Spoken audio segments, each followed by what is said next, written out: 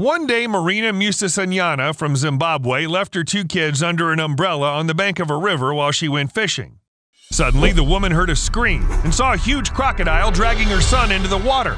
Maybe if the mother had been a little slower, the reptile would have escaped with the prey, but Marina rushed to the crocodile and pressed its nose very tightly with her fingers. With her other hand, she freed her kid's head from the jaws, and the crocodile couldn't fight back. It just bit the woman, but eventually retreated. The child was taken to the hospital, and soon he fully recovered, as did Marina. This story would look like some kind of village legend if it didn't actually happen in 2020. And the technique the woman used actually works, although it does sound like a silly myth. Crocodiles and alligators are natural killing machines. They had millions of years to hone their hunting skills, but even if you get into the mouth of a predator, you still have a chance to survive. The important thing is to keep fighting and to know where to strike. Marina from Zimbabwe did the right thing. There are only a few weak points on the face of reptiles you can hit, nostrils are one of them. If you hit the crocodile there or at least pinch the nostrils, the predator has to open its jaws. Another option is to go for the eyes. Many experts agree that when attacking a bloodthirsty monster, poking it in the eye might work. This is where the memory accumulated over the years of evolution comes into play. Crocodiles know the eyes are their most vulnerable spot which means that if something threatens their eyes, they need to let go of this something as soon as possible and swim somewhere far away. But what surprised me the most was fighting the crocodile from the inside. So let's say your hand is in the crocodile's mouth, its jaws are clenched. Turns out it's not a hopeless situation. At the back of the animal's mouth, there's something like a valve that closes the throat so that the croc doesn't drown even if it dives with its mouth open. First, this valve seems to be quite sensitive. And second, if you damage it, the water will flow not where the crocodile would like it to. In short, you can literally try to drown the crocodile. Most likely, the predator will be so surprised and scared it'll let you go. Well, of course, you can only drown a crocodile if you have to fight it in the water. How about fending off a bigger animal? A polar bear's not an option. Oh, what about an elephant? Elephants are actually quite dangerous and sometimes ready to attack a person. I even came across a statistic that says elephants kill more people than any other large land mammal, aside from hippos and buffaloes, of course. But an aggressive looking elephant won't always attack you. This usually happens during the breeding season when males basically attack everything that moves. At any other time, the elephant can bluff. Put your strength to the test, and this behavior has its signs. Are the elephant's ears fanned out wide to make it look bigger? Is it swaying from side to side? Is its trunk swaying back and forth or hanging down low? This is a bluff. The elephant's trying to intimidate you. But if an animal pins its ears to its head and its trunk is curled up, then it can hardly be stopped. It's time to run for your life ASAP. But how do you do that? I mean, elephants are huge. How can you scare away an animal this big? Oddly enough, you just need the right sounds. Elephants are not afraid of mice. This is a made up story but they simply can't stand bees. The sound of buzzing alone is enough for a herd of elephants to scatter in different directions. Scientists even did studies on this topic. 10 seconds after they turned on the pre recorded buzzing, half of the elephant family ran away. Occasionally glancing at the speakers, by the 80 second mark, all elephants but one were gone. Maybe that elephant was a little hard of hearing. So, if you have powerful speakers and a recording of the sounds of African bees, this can actually work. Though it all seems a little weird. How can animals with such thick skin be so afraid of some tiny bees? The bees won't even penetrate it. No, they won't. But when the bees swarm, that is, when the colony splits up and part of it looks for a new place to live, they can become very angry. Well, you can understand them. You already feel quite nervous moving to a different place, and then there's some elephants in your way? In general, at the time of swarming, hundreds of bees can sting elephants in their most sensitive places the trunk, mouth, and eyes. It hurts. Elephants don't like when it hurts. So much so that farmers even deliberately set up real and fake hives on the borders of their lands. Up to 80% of elephants try to stay away from bee territory. Well, in order to convince farmers this would work, scientists had to put in a lot of effort. Animals don't easily give out their secrets and weaknesses, Sometimes researchers have to go to extreme lengths.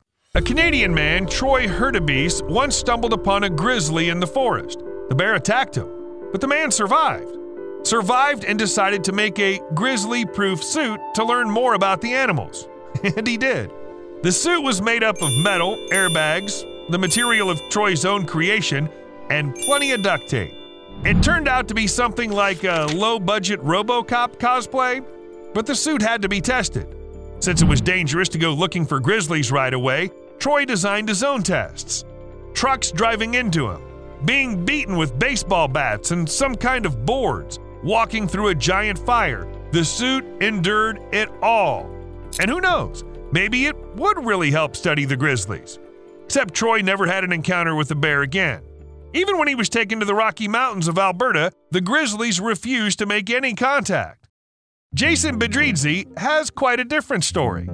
Since childhood, the Georgian zoologist has been fascinated by wolves. When he turned 30, Badridze went to the Borjomi Nature Reserve in Georgia to study wild wolves. But not just look at the predators from the distance, he became part of the pack. He slept with the wolves, wrapped in a thick fur coat, helped them hunt and studied their habits. In turn, the wolves shared their prey, fed the scientists when he was sick or injured, and even protected him from bears. Once every few months, Badridze saw his family and then returned to live with the wolves again. After two years in a wolf pack, the scientists decided to help the wolf cubs raised in captivity. They needed to learn a lot in order to return to the wild, over several decades, Badridze raised about a hundred wolves, taught them to stay away from people, and actually taught them how to be wolves. What an amazing person! Thanks to such scientists, we now know so much about animals. However, sometimes knowledge comes to people through the experience, and they use them in their own way. Here's a simple example.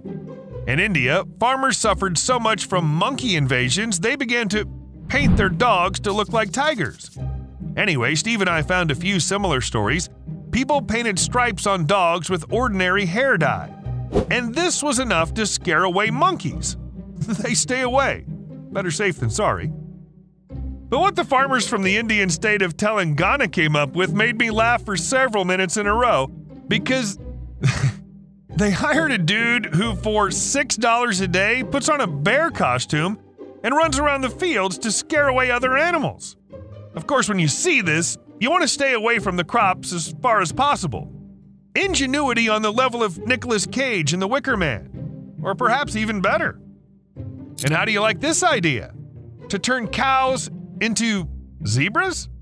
Well, not to drive away monkeys or any predators, this camouflage reduces fly bites by about 50%. Scientists believe the stripes simply confuse the insects they don't understand if the cow is moving, where it's going, where they should land, and where to bite. This technology could become an environmentally friendly alternative to pesticides. In short, it's a win win. But to figure out why zebras have stripes in the first place and how they work, scientists had to work hard. Especially Tim Caro, a British evolutionary ecologist who spent 10 years under the scorching sun of Tanzania to study zebras. And he acted, let's say, by trial and error. For example, he made several striped pajama like suits and wore them while slowly walking through the territory of the zebras. He counted how many flies landed on him. Then he did the same dressed in a zebra pelt. Now, imagine you're walking through a national park in a zebra suit. Keep in mind there are lions there, hungry lions. But in the end, Caro's suffering paid off. He compared all the data he received and found out that zebras indeed got stripes to fend off flies. Don't ask this guy why pandas are black and white. He seems to get too carried away by his research. What is it? Really? Hmm. Steve says people painted stripes on cows back in World War II, but not because of flies. When the electricity was shut down, the cows became a real traffic hazard. It was almost impossible to spot them in the dark, so, people of Great Britain came up with the idea of drawing white stripes on animals. You know, kind of like warning signs. Imagine if they were also reflective. That's not something I came up with. In 2015, farmers in the British city of Hungerford were asked to put fluorescent jackets with luminous strings on their cows, or flashing collars. In general, do something to make it easier for drivers to spot animals in the dark because several times collisions ended in serious injuries. For some reason, the locals didn't really appreciate the idea. They say this is expensive and not very effective. Unlike robotic deer designed to fight poachers. What? Yes, these do exist, and they're used in the USA. The way it works is simple. First, they get reports of illegal hunting in some area, for example, for deer. American law enforcement officers arrive at the place and install a decoy robot, then hide nearby and use the remote control to make the robot move. When the poachers shoot, they get caught red handed. Yes, we have to admit that these super realistic robots are also damn expensive. A deer costs about $2,000, and an American black bear, $5,000. And just when I thought a stuffed robotic deer was the weirdest thing of the day, it turned out that conservationists are putting cameras in the horns of rhinos. Straight inside them. Seriously. It's a rather clever buildup. Sensors analyze the rhino's heart rate, and if it suddenly increases or drops sharply, the operators can remotely activate the tiny camera in the rhino horn. A leather collar around the animal's neck also tracks its GPS coordinates, and authorities can quickly come to the rescue. Scientists hope that when this program is broadly deployed, poachers will begin to steer clear of the rhinos that participate in it. Well, yeah, who would dare commit a crime when a horn is watching you? See you later.